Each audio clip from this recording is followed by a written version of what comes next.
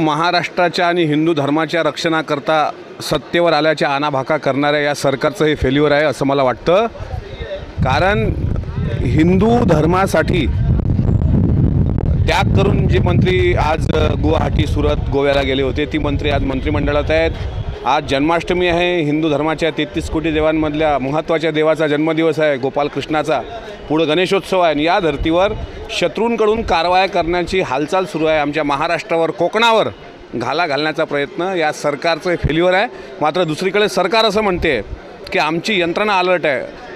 केंद्र सरकारने पण पुलवामा हल्ल्याच्या अगोदर हीच भाषा केली होती. नंतर पुलवामा हल्ला झाला. त्यात आमचे अनेक शहीद झाले. त्याच्यामुळं भंडारा जिल्ह्यातली दुर्दैवी घटना असेल किंवा श्रीवर्धनला ज्या पद्धतीनं रायफली सापडल्या अत्याधुनिक शस्त्र सापडले हा आगामी हिंदूंच्या सणावर अटॅक करण्याचा शत्रूंचा प्रश्न म्हणजे एक प्रयत्न असेल आणि त्यामध्ये महाराष्ट्र सरकार सपशेल अपयशी ठरलेलं आहे.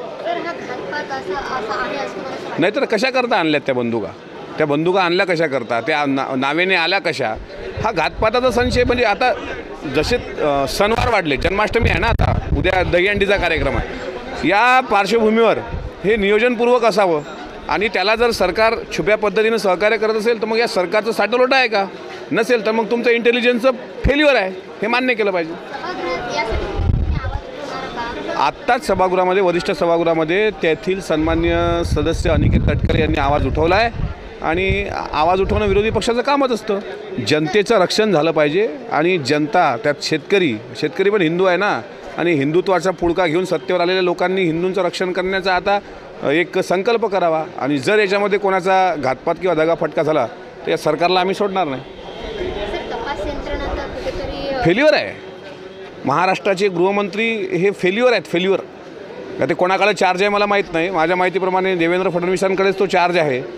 पण भंडाऱ्यामध्ये अशी घटना घडल्यानंतरसुद्धा तीन दिवस एस पी तिथे दखल जर घेत नसेल आणि अशा पद्धतीचे अत्याधुनिक शस्त्र सापडत असतील ते गृह खात्याचं अपयश आहे.